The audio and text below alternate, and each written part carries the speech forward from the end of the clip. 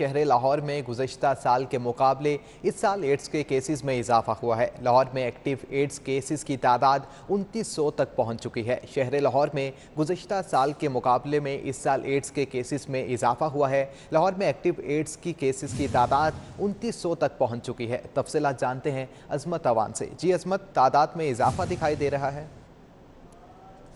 Ads एक इंतहाई ख़तरनाक बीमारी है और इसी सिलसिले पर बात करने के लिए हमारे साथ पंजाब एड्स कंट्रोल प्रोग्राम के डायरेक्टर डॉक्टर फैसल मसूसा मौजूद हैं। सर, सबसे पहले तो आपका बहुत शुक्रिया, आपने सिटी 42 के लिए टाइम निकाला। सर, मेरा पहला सवाल है, हमारे नाजरीन को आसान अल्फाज में बताएँ कि एच और एड्स में बुनियादी फ़र्क क्या है? जी एच और एड्स में हम मेडिकल ग्राउंड पे इसको जब लैब के रिज़ल्ट पे कहते हैं सी डी काउंट कराते हैं हम पेशेंट का। ये एक क़वत मुदाफ़ियत के सेल्स होते हैं।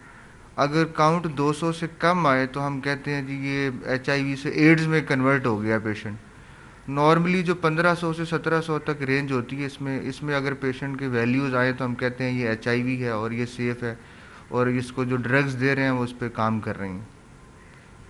अच्छा सर, ये भी बताइएगा किन अलामत से आपको ज़ाहिर होता है कि आपको एड्स हैं और आपको फौरी अपना ब्लड टेस्ट कराना चाहिए? अलामत बिल्कुल वायरल इन्फेक्शन जैसी होती हैं, जैसे जिसम में थकावट रहना, आपको बार बार इन्फेक्शन होना शुरू हो जाती हैं। बुखार हुआ तो वो नॉर्मल एंटीबायोटिक से ख़त्म नहीं हो रहा होता। तो इस तरह फिर आपकी एक्सपोजर की हिस्ट्री बहुत मैटर करती है। अगर आपने कोई दान निकलवाया किसी गैर मुस्ंद जगह से ब्लड ट्रांसफ्यूजन की हिस्ट्री है इंजेक्टेबल की हिस्ट्री है कोएक के जाने के पास आप चले गए हैं वहाँ की हिस्ट्री है, तब आप फिर देखें कि आपको उसके बाद ये सिम्टम्स आ रही हैं। और आठ से दस साल लगते हैं। वंस uh, आपका एक्सपोजर uh, जब होता है उसके आठ से दस साल के बाद आप उस लेवल पे पहुँचते हैं जब आपके क़वत मुदाफ़त बहुत कम होती है और आपको बहुत अलामत आती हैं। तो मेरा तो मशरा यही है कि जिस तरह अगर आपके एक्सपोजर्स हैं इस तरह के तो एनुअली इसका आप टेस्ट कराते रहें। ठीक है सर ये भी बताइएगा कि गुज्त पाँच सालों में कितने शहर लाहौर में मर्द और ख़वान को एड्स हुआ और इनमें बच्चों की तादाद कितनी है? लाहौर में हमारे पास इस वक्त जो है ट्वेंटी नाइन हंड्रेड लोग जो हैं वो रजिस्टर्ड हैं और ये दवाई ले रहे हैं हमारे पास।